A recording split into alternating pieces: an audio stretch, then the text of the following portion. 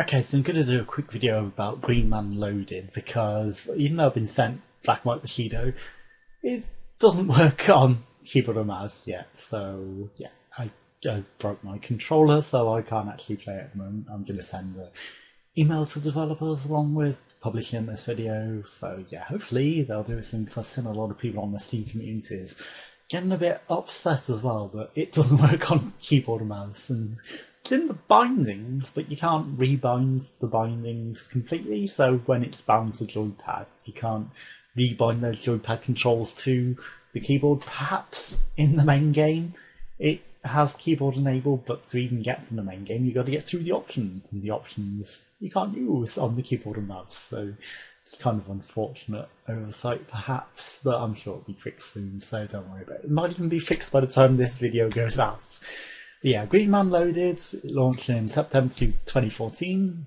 Obviously, it's designed, to help developers get their games launched and get a bigger market. So it's got you know the PR teams and everyone behind it, and let's players and gamers and different things who will give feedback and support and help launch your games. So definitely worth looking into. So Green Man Gaming, obviously, it's a platform where people can buy the games. I'm sure you've probably heard of it by now, but Green Man Loaded is supporting that, so it's helping launch games as well as providing a platform to sell them on. So they also go on Steam as well as you're on Green Man Gaming and all that. So yeah, they offer finishing finance options to help you complete your game, access to closed beta programs to help improve your game. So obviously the Playfire community and different things they have behind it, and the PR contacts and the Let's Players and all that and different things. So helps to give proper feedback from actual proper gamers and not people who necessarily don't know what they're doing or you know won't accidentally break games because they used to playing them in certain ways and yeah, I know it's probably not the greatest selling point after talking about how Black and White Bushido launched without keyboard and controllers, but that's an oversight, you know. People can miss it, especially if most people have controllers, because a lot of people do these days, and not everyone breaks them. Sorry about that. yes. Um, energetic, experienced, highly sophisticated sales, marketing, PR team to help you get games to markets obviously they're really friendly and polite and happy and they were going around EGX getting people to play the games and not only the ones on the show floor like Eternal Step getting people to play that behind the scenes. So yeah that's another one that's coming out soon and definitely looking forward to playing that. It comes out on October 12th I believe. And obviously Black and White came out this week with 20% off and I've got a 23% extra off site wide on Green Man Gaming which I'll include in the description. So if you plan on buying anything on there get it whilst you've got the extra discounts. Pardon me. So fortnightly royalties to ensure you get swiftly rewarded for your success. So fortnightly payments.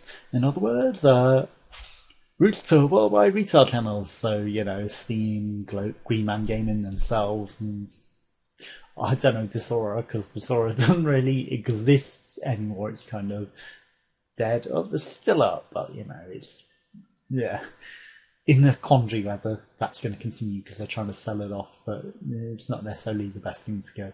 So they promise you, the developer, you will own your intellectual property, so you have control over it. You know, you can decide if you want people to show it off on displays or different things, or if you don't want it shown off, or if you want embargoes and different things. And obviously, you own the rights, so they won't make T-shirts of your stuff and your content.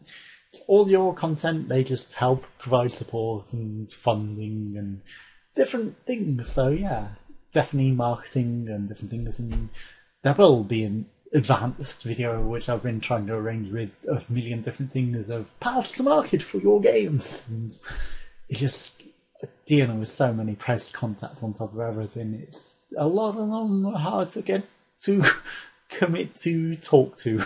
So yeah. I could talk about it all myself, but it's a lot more fun having a rapport on the video with the actual companies rather than just be like, hey, I'm going to talk about six different routes to market by myself. so yeah, but I thought I'd do this because I wanted to do the Black White Bushido. Tried to play it right now and I can't get access to it because of the whole keyboard and mouse thing. So I'm doing this instead. Anyway, it yeah, Endemol Shine or Endemol Shine UK are the ones doing Black and White Bushido. So you know they're behind a a lot of famous TV companies, and now they're going into gaming. It would appear. So yeah, it's a fun little game. Just a shame I can't show it off right now. It will come. It will come. Just watch this space. Anyway, thanks for watching. Goodbye.